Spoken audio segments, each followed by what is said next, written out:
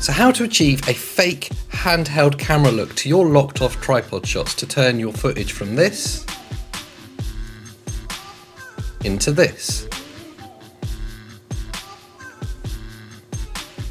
So let's jump into Premiere Pro and have a look. So here in Premiere Pro, I've got a locked off tripod shot. Right. And next to it, I've got this random shot that's got some nice handheld camera shake. Now, the type of shot this is isn't actually important. It can be a shot of anything. It could be a shot out of your window, as long as it has some kind of handheld movement in it, because that movement is what we're going to copy onto the locked off shot. So let's get the shot with the handheld movement in it, the bit of camera shake, and pop it on top of our locked off shot. So they are literally stacked on top of each other.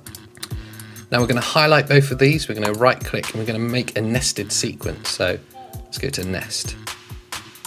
And what Premiere does for you there, if you're unsure, is literally creates like a subsequence of those two clips nested together. We can go back in and edit them individually, which we're going to have a look at in a second. Now on this nested sequence, we're going to put on the warp stabilizer.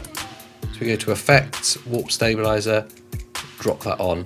Now there's a couple of really important bits we need to do before we analyze this footage. First is the result. We want that to have no motion.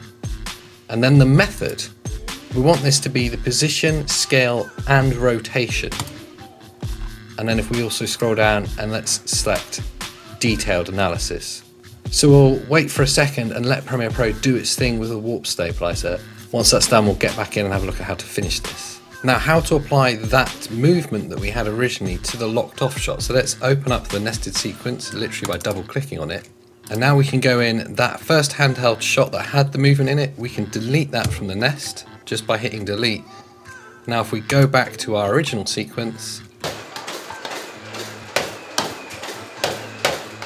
So that's how to achieve a faked handheld camera shake in your locked off tripod shots. He's back. We'll be back on Monday. Just his face doing a review for you. So if that's your thing, Monday. See you then.